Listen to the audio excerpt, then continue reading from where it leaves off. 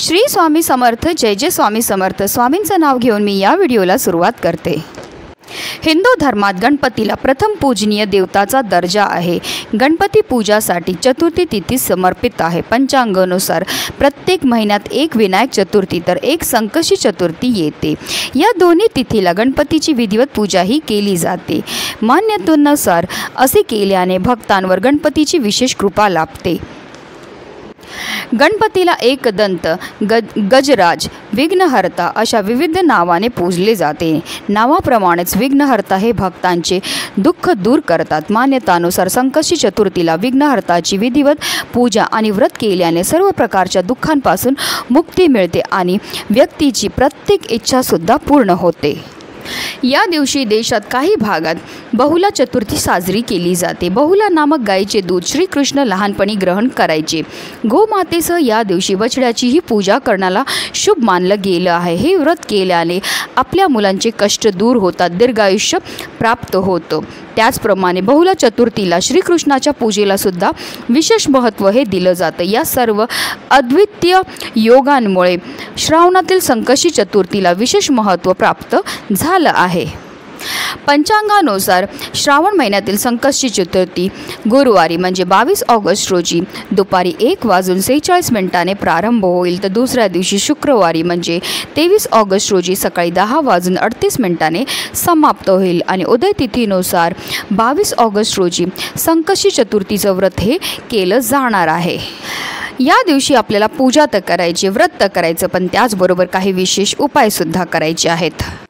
आणि म्हणूनच संकष्टी चतुर्थीच्या दिवशी प्रत्येक आईने आपल्या मुलांसाठी हिरव्या मुगांचा अतिशय प्रभावी असा हा उपाय करायचा. हा उपाय केल्यामुळे आपल्या मुलांची प्रत्येक क्षेत्रामध्ये भरभरून अशी प्रगती होणार. जर ते अभ्यास करत असतील त्यांना केलेला अभ्यास लक्षात राहील किंवा नोकरी किंवा व्यवसाय करत असतील तर त्यामध्ये त्यांना भरभरून यश हे मिळणार आहे. अतिशय प्रभावी असा हा उपाय ज्याबद्दल सविस्तर आणि महत्त्वाची अशी माहिती मी तुम्हाला या व्हिडिओमध्ये देणार आहे. तर व्हिडिओ पूर्ण पहा आणि जर तुम्ही माझ्या चॅनलवर नवीन असतील तर चॅनलला सबस्क्राईब करा आणि शेजारी बेल आयकनसुद्धा प्रेस करा जेणेकरून तुम्हाला माझ्या नवनवीन व्हिडिओचं नोटिफिकेशन हे मिळत राहील आणि तुम्ही एक पण व्हिडिओ मिस करणार नाही. संकष्टी चतुर्थीच्या दिवशी सकाळी लवकर उठून स्नान करावी. दिवसभर उपवास करावा. गणपती बाप्पांची षडचोपचार पूजा करावी. शुद्ध पाण्याने गणपतीच्या मूर्तीला अभिषेक करावा. अभिषेक करतेवेळी आपल्याला अथ अथर्व शीर्षमचं पठण करायचं आहे तुम्ही एक वेळा अकरा वेळा किंवा एकवीस वेळा अथर्व शीर्षमचं पठण करू शकतात. आता तुम्हाला अथ अथर्व शीर्षमचं पठण करणं शक्य नसेल तर तुम्ही ओम ग गणपते नम या मंत्राचा सुद्धा एकशे आठ वेळा जप केला तरीही चालणार. त्यानंतर हे जे तीर्थ आहे ते आवर्जून आपल्या मुलांना आपल्याला प्यायला द्यायचं आहे असं केल्याने आपल्या मुलांच्या बुद्धीमध्ये वाढ होते. अभिषेक करून झाल्यानंतर गणपती बाप्पांच्या मूर्तीला स्वच्छ पुसून पुन्हा त्यांच्या स्थानावर आपल्याला ठेवायचं आहे. यानंतर आपल्याला गणपती बाप्पांना हळद कुंकू अक्षदा धूपदीप अगरबत्ती दाखवून घ्यायची आहे. त्यांना नैवेद्य अर्पण करायचं आहे. तुम्ही जर मोदक बनवले असेल तर मोदकाचं नैवेद्य अर्पण करा किंवा गुळ खोबऱ्याचं नैवेद्य अर्पण केला तरीही चालणार त्याचबरोबर त्यांना प्रिय असणाऱ्या वस्तू त्यांना आवर्जून आपल्याला अर्पण करायचे. जसं की गणपती बाप्पांना दुर्वा अतिशय प्रिय जास्वंदाचे फुल अतिशय प्रिय आहेत. तर ह्या सर्व वस्तू आपल्याला गणपती बाप्पांना अर्पण करायचं. त्याचबरोबर दुर्वा आणि जास्वंदाचं फूल जे आहे ते आवर्जून आपल्या मुलांच्या हाताने जे गणपती बाप्पांना अर्पण करायला लावायचं आहे. तसंच आपल्या मुलांना जेव्हा आपण गणपती अथर्व शीशमचं पठन करणार. तेव्हा आपल्या मुलांना बाजूला बसवायचं. त्यांनी श्रवण केलं तरी त्यांना त्याचा खूप लाभ हा प्राप्त होणार आहे. त्याचबरोबर मुलांकडनं सुद्धा तुम्हाला काही सेवा ह्या करून घ्यायच्या तुम्ही एकशे आठ वेळा मुलांकडनं ओम गण गणपते नम या मंत्राचा जप करून घ्यायचा आहे. आता तुमची मुलं लहान आहेत एकशे आठ वेळा बोलणं शक्य नसेल तर किमान एक वेळा तरी त्यांच्याकडनं या मंत्राचं पठन हे करून घ्यायचं आहे. अशा रीतीने आपल्याला विधिवत गणपती बाप्पांची पूजाही करायची आहे. त्याचबरोबर या दिवशी चंद्रदर्शनाचं सुद्धा विशेष महत्त्व हे दिलं जातं. चंद्रोदयाची वेळ आपल्याला पाहायची आहे आणि त्यानंतर आपल्याला गणपती बाप्पांना धूपदीप अगरबत्ती दाखवून घ्यायची आहे नैवेद्य दाखवायचं आणि चंद्रदर्शन घेतल्यानंतरच आपल्याला चंद्राला अर्क द्यायचा आहे आणि गणपतीची आरती म्हणायची आहे. जास्वंदचं फूल आणि दुर्वा वाहून आपल्याला उपवास हा सोडायचा आहे. आणि गुरुवारी म्हणजे संकष्टी चतुर्थीच्या दिवशी चंद्रोदय जो आहे तो नऊ वाजून दोन मिनिटाने होणार आहे. तर आता हा उपाय आपल्याला कधी करायचा? तर हा उपाय आपल्याला संकष्टी चतुर्थीच्या दिवशी संध्याकाळी सहा वाजल्यापासून तुम्ही अगदी रात्री बारा वाजेपर्यंत सुद्धा करू शकता.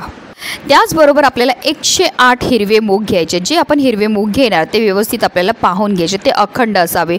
कुठेही तुटलेले फुटलेले किंवा खराब झालेले नसावे. तर एकशे आठ हिरवे मूग आपल्याला एका वाटीमध्ये घ्यायचे आहेत. आता हा उपाय आपल्याला का करायचं? जर आपल्या मुल लहान मुलं ती फार चिडचिड करतात हट्टीपणा करतात केलेला अभ्यास लक्षात राहत नसेल आजारी पडत असतील की आपली मुलं खूप शिकलेली पण त्यांना मनासारखी नोकरी मिळत नसेल त्यांची विवाह जुळण्यामध्ये समस्या येत असतील संतान प्राप्तीमध्ये समस्या येतील किंवा इतरही आपल्या मुलांच्या कोणत्या समस्या असतील तर आवर्जून प्रत्येकाईने हा प्रभावी उपाय जो आहे तो करायचा आहे. आता जर तुम्हाला एक मुलगा असेल तर तुम्हाला एकशे आठ हिरव्या मुगाचे दाणे घ्यायचे. त्याचबरोबर तुम्हाला एक हिरव्या रंगाचं कापडसुद्धा घ्यायचं आहे आता तुम्हाला दोन मुलं असतील तर तुम्हाला दोन वेळा म्हणजे एकशे आठ एकशे आठ हिरवे मूग घ्यायचेत आणि दोन तुम्हाला हिरव्या रंगाचे वेगवेगळे कापड हे घ्यायचेत.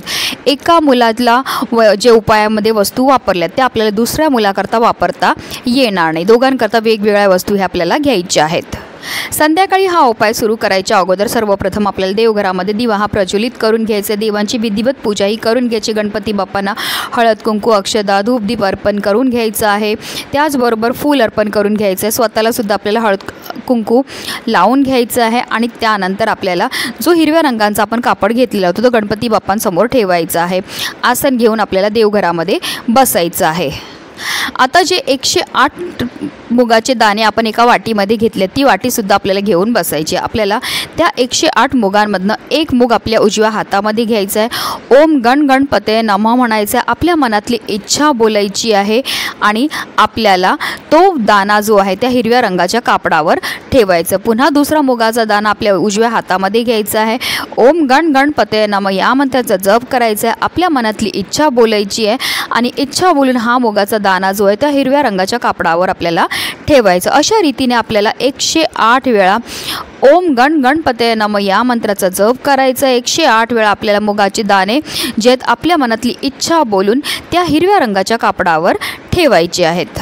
त्यानंतर आपण हे जे मोग त्या हिरव्या रंगाच्या कापडामध्ये ठेवले त्याची आपल्याला एक पोटलीही तयार करायची आहे. आणि ही पोटली आपल्याला गणपती बाप्पांच्या चरणाजवळ ठेवायची आहे. त्यानंतर हात जोडून मनोभावे गणपती बाप्पांना आपल्याला प्रार्थना करायची. आपल्या मुलांच्या आयुष्यामध्ये असणारे जे विघ्न आहेत दोष आहेत अडचणी आहेत संकट आहेत ती दूर करण्याकरता मनोभावे प्रार्थनाही करायची आहे. अगदी पाच मिनटं आपल्याला ही पोटली गणपती बाप्पांच्या चरणाजवळ ठेवायची. त्यानंतर ती पोटली आपल्याला तिकडनं उचलायची आणि आपली मुलं जिथे झोपतात. आता तुमचा एक मुलगा असेल तर त्या मुलाच्या उशाखाली आपल्याला ही पोटली जी आहे ती ठेवायची. दोन मुलं असतील तर दोघांच्या उशाखाली वेगवेगळ्या पोटल्या आपल्याला ठेवायच्यात. आता तुमची मुलं शिक्षणानिमित्त बाहेर आहेत घरी नाहीत. मग हा उपाय कसा करायचा? तर ह्याच पद्धतीने आपल्याला त्या मुगाच्या दाण्यांना अभिमंत्रित करून घ्यायचं आहे. आणि त्यानंतर ती पोटली आपल्या मुलांची जी पण वस्तू असेल त्याचा फोटो असेल किंवा त्याची बॅग असेल किंवा इतरही त्याचं कोणतं सामान असेल तर त्याच्यासमोर आपल्याला ती पोटली जी आहे ती ठेवायची आहे. आता ही पोटली संपूर्ण रात्रभर आपल्या मुलांच्या उशाखालीच ठेवायचं आहे दुसऱ्या दिवशी.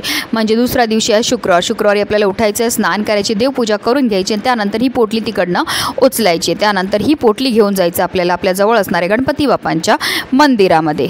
त्याचबरोबर गणपती बाप्पांना प्रिय असणारी दुर्वा जास्वंदाचं फूल गोडाचा नैवेद्यसुद्धा आपल्याला बरोबर घेऊन जायचं. आहे मंदिरामध्ये गेल्यावर सर्वप्रथम गणपती बाप्पांना हळद कुंकू अक्षदा अर्पण करून घ्यायचे दुर्वा अर्पण करून घ्यायचे जास्वंदाचं फूल अर्पण करून घ्यायचं आहे आणि ही जी पोटली आपण घेऊन गेलेली आहेत ती आपल्या मुलांची इच्छा किंवा ज्या आपण समस्या त्या बोलून आपल्याला गणपती बाप्पांच्या चरणावर अर्पण करायची आहे. अतिशय प्रभावी असा हा उपाय हा उपाय जर तुम्ही संकष्टी चतुर्थीच्या दिवशी केला तर तुमच्या मुलांच्या आयुष्यामध्ये असणारे सर्व दुःख सर्व विघ्न सर्व संकट ही साक्षात गणपती बाप्पा दूर करतील. त्याचबरोबर त्यांची कठीणातील कठीण इच्छासुद्धा पूर्ण करतील. म्हणूनच व्हिडिओ जास्तीत जास्त लोकांपर्यंत शेअर करा जेणेकरून प्रत्येकाच्या आयुष्याचं कल्याण हो हीच मनामध्ये इच्छा. श्री स्वामी समर्थ जय जय स्वामी समर्थ.